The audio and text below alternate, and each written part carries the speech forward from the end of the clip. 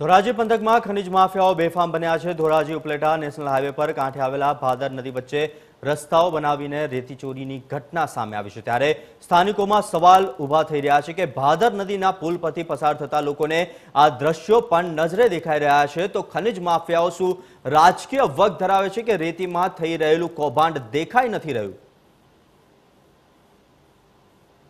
ધોરાજી ઉપલેટા તરફ ખનીજ માફિયાઓ છે તે બેફામ બન્યા છે. ત્યારે કહી શકાય કે ઇન્ડિયા ન્યૂઝની ટીમ આપણને એવા દ્રશ્ય બતાવશે કે આપ પણ જોઈને ચોકી જશો. ત્યારે હું દ્રશ્ય બતાવવાનો પ્રયત્ન કરીશ કે હા, જે ભાદર બે ડેમ છે, તેની જે નદી નીકળેલી છે, ત્યારે આપ જોઈ શકો છો આ નદીની અંદરમાં ખનીજ માફિયાઓ છે તે બેફામ બન્યા છે. કઈ રીતના ખનીજ ચોરી કરવામાં આવે છે તેવા હું દ્રશ્ય બતાવીશ કે હાલ ભાદર નદીની અંદરમાં કહી શકાય કે એક રસ્તો બનાવી અને રાત્રિના સમયે ખનીજ માફિયાઓ છે તે ખનીજ ચોરી કરતા હોય છે. ત્યારે વારંવાર લોકો દ્વારા રજૂઆત કરવામાં આવે છે. છતાં પણ કહી શકાય કે ખનીજના પેટનું પાણી પણ નથી હતું ને આ ખનન છે તે થવા જઈ રહ્યા છે.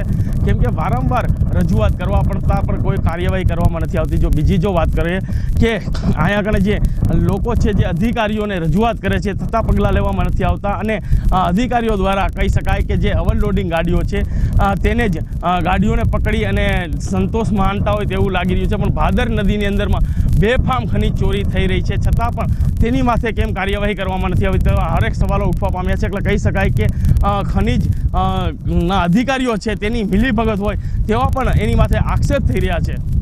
હરેશ વાલિયા ઇન્ડિયા ન્યૂઝ ધોરા